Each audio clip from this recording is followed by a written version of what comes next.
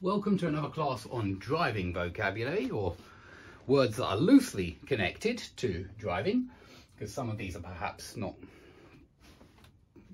not they're not only about driving. Quite often I throw one or two other expressions in there because I know that it's good to learn a variety of expressions at the same time um, so I try to repeat a lot of the stuff, guys. I don't know if you've noticed this, but there are some recurrent themes and some words which crop up again and again and again.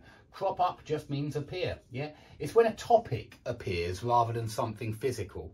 Um, you know, rather than something sprouting up in front of you. Sprout up's very physical.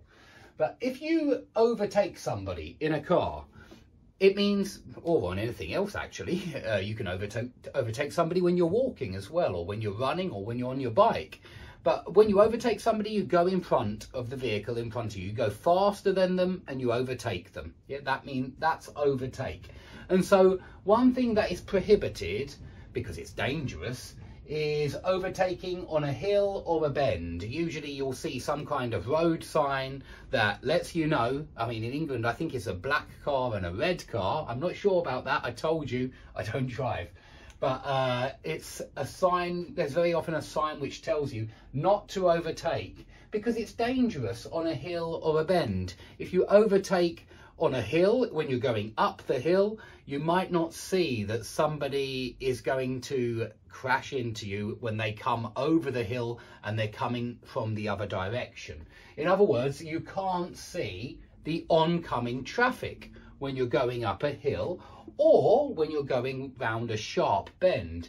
You can't see the oncoming traffic. You're blind to any uh, traffic that might be just around the bend or just over the hill and for that reason it's prohibited or usually it is. It does depend on how high the hill is or how sharp the bend is. So do learn those words as well. Bend you know a bend in the road and a hill.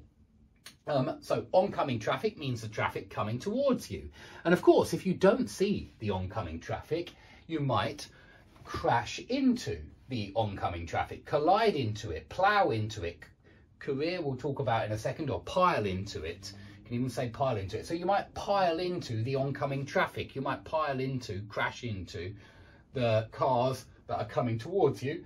And if you do, then you have a head-on collision. That's a compound adjective, so it needs a hyphen.